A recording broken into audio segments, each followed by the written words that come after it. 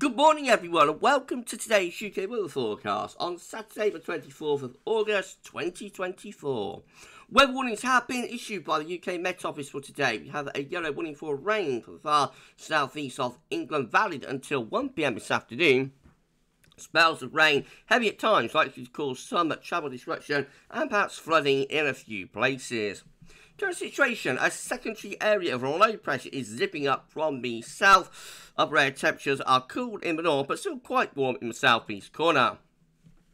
So as we begin with Saturday morning, got outbreaks of heavy rain gathering to the south and pushing northwards into parts of Midlands and East Anglia as well. Meanwhile, Scotland, North West England, North West Wales and Northern Ireland have got some heavy showers.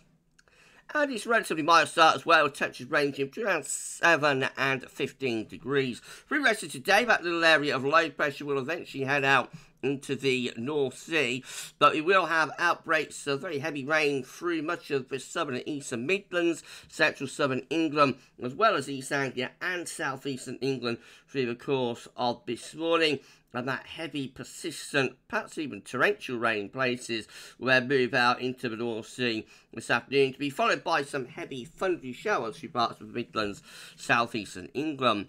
That leaves large portions of northern England, Wales, southwest England turning drier, but more showers will develop through Scotland to Northern Ireland, and one or two of those could be quite heavy. And it will be a cool day as well, with temperatures below average for time of the year, ranging about 13 to 20 degrees.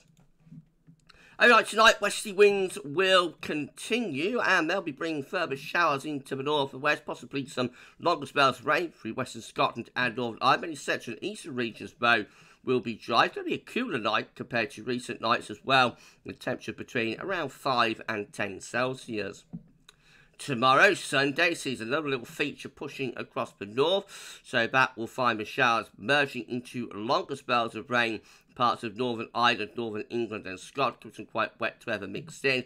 Showers through Wales and southwestern England, but much of eastern, southeastern England will stay dry.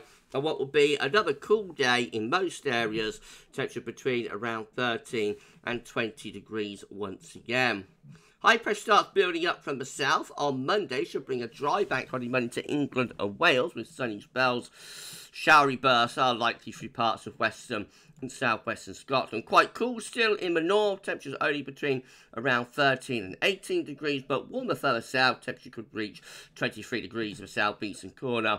And that's a trend into Tuesday, low pressure again, out to the northwest, bringing outbreaks of rain through parts of northern England and Wales. To be south of that, mostly dry with sunny spells and to the north of that band of rain, mostly dry as well. That band of rain will mark the boundary between some much warmer air coming into the south, temperatures reaching 25 degrees, that's 77 in Fahrenheit. And then winds swing round to the south for Wednesday.